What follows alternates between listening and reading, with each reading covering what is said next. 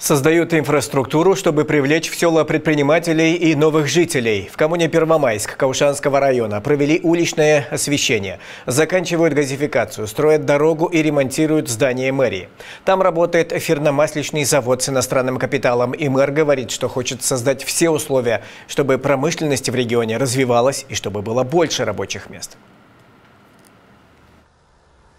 Когда-то это село населяли немцы, и называлось оно Эменталь. А сейчас это Первомайск, главное село коммуны, которое включает и село Константиновка. Местные власти гордятся тем, что у них есть промышленность, есть стимул развивать инфраструктуру. В нашем селе Первомайск находится две фирмы иностранным капиталом, где одна фирма имеет фермосычный завод. И говоря сегодня о том, что мы имеем промышленность, я хочу создать в селах условия – для привлечения сюда специалистов, людей. Главные улицы в коммуне заасфальтированы. В рамках программы «Хорошие дороги» село получило 2,5 миллиона леев. Сейчас ремонтируют улицу, на которой находится детский сад. Пока только в белом варианте. Полгода назад из госбюджета на это выделили 500 тысяч леев. Здесь, э, во-первых, подъезды к людям нужно делать. Раз.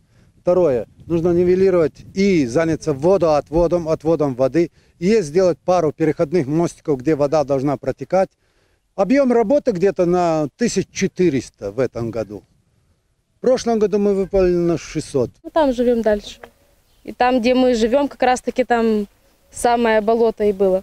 Уже и лучше, да. Вышли. Уже с болота вышли. Последний год коммуна активно газифицируется. Мы сдали в эксплуатацию линию газопровода низкого и среднего давления и распределительные шкафы в селе Константиновка.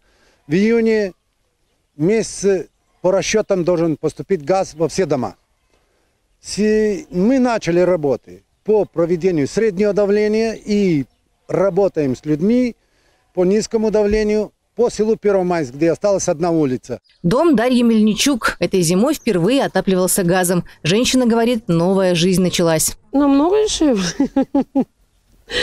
Конечно, если я покупаю по 12, например, сладометров дров и там мешков 10 угля, чтобы мне протопить. У меня дом большой, у меня 7 комнат. А сейчас вот я ну, очень тепло, детям нравится. И полторы тысячи, самый больше, это потолок.